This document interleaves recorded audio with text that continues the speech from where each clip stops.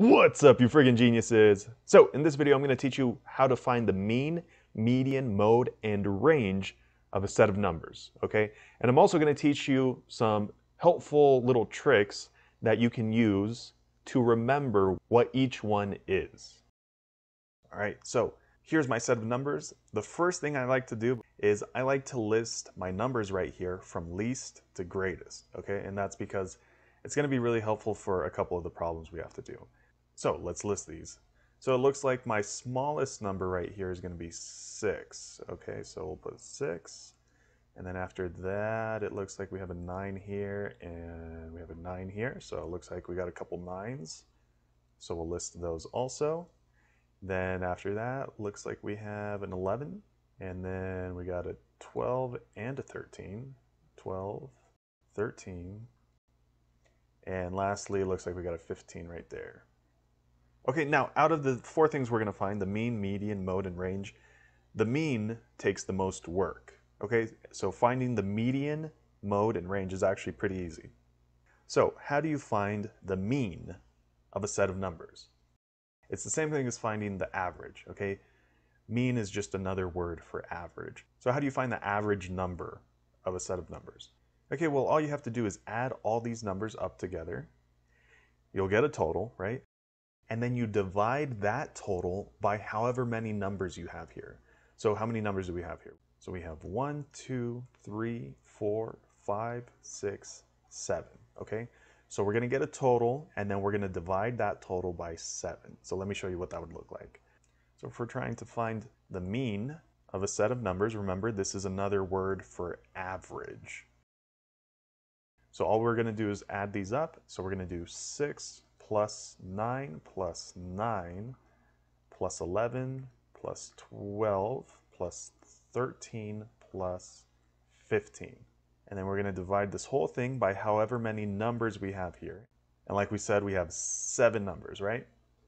So let's simplify this. Now, if you have a calculator, you can obviously use it to add all these numbers up. Here, I'm just going to tell you the total though. So if we add all these numbers up, we would get 75, okay? So we're good. So our total is 75 and we're going to divide that by 7. Okay, so we have 75 divided by 7. Okay, so I'm going to do 75 divided by 7. Okay, so 7 goes into 7 one time, and then 1 times 7 is 7. You subtract, and you just get 0 right there, right? And then we'll bring this 5 down. Now, 7 goes into 5 0 times, right, because it doesn't fit into 5, and then 0 times 7 is 0. And then we would subtract right here. So then 5 minus 0 is just 5.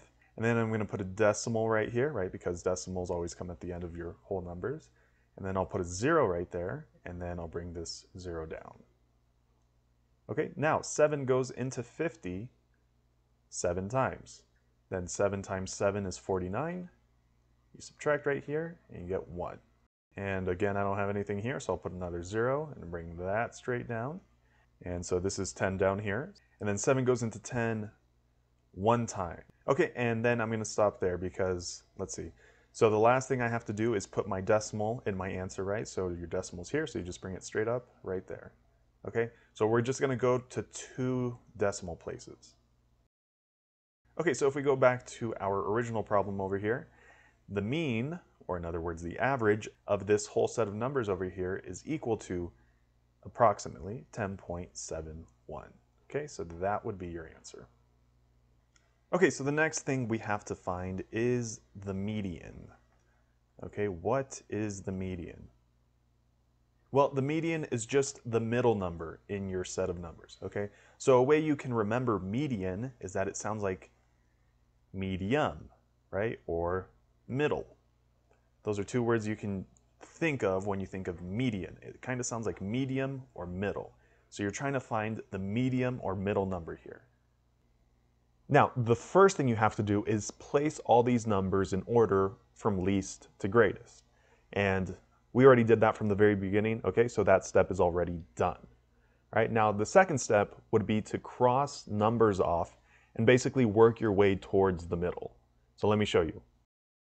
So you're going to cross the first one and the last one. And then you're just going to keep going. This one, this one, this one, this one. And so it looks like 11 is in the middle, right? So what is the median here? It would just be 11, okay? And that would be your answer.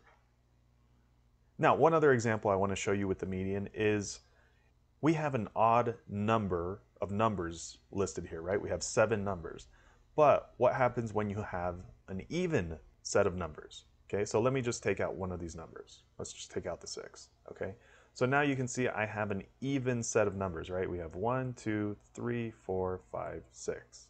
Now, when you have an even set of numbers and you're trying to find the median, you still follow the same process, okay? So we're gonna cross off the first one and the last one, and then just keep going towards the middle. So cross this one off, then this one.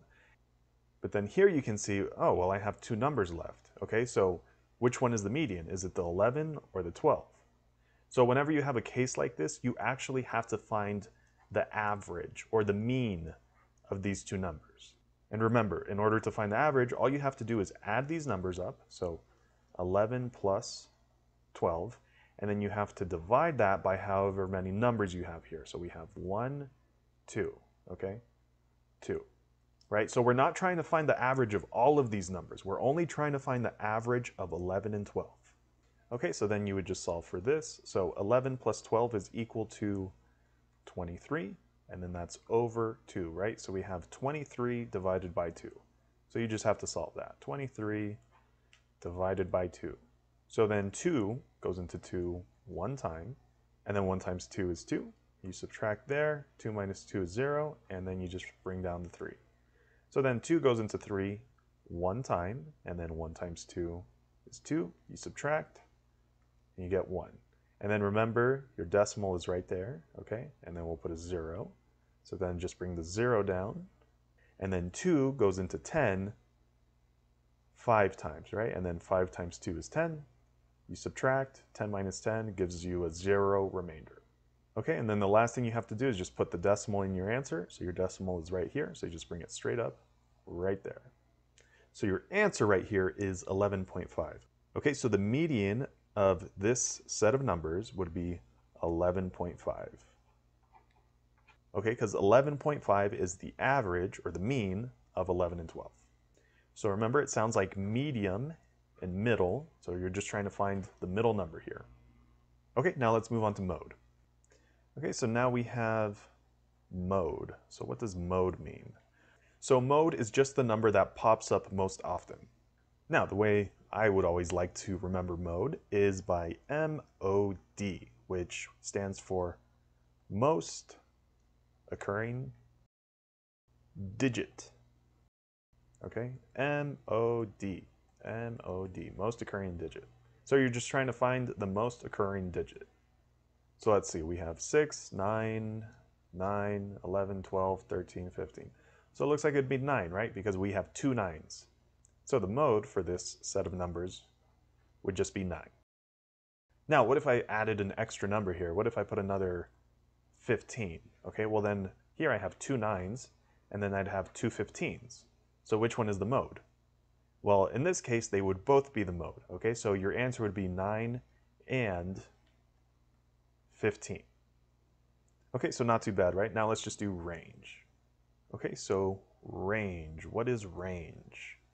Well, your range is simply your biggest number minus the smallest number. So in this example, your biggest number is over here at the end, 15, right? And then you just subtract the smallest number, which is right here, 6. So what's 15 minus 6? 9. Okay, so your range right here would just be 9. Alright guys, so that is how you find the mean, median, mode, and range of a set of numbers. So I hope the examples were helpful. If it was, definitely leave a thumbs up down below. And if you still have any other questions, leave them in the comments section below. I'll do my best to try and help you out. There's also a playlist attached at the end of the video, so if there's any other topics you need help with, definitely check those out, and I'll see you there.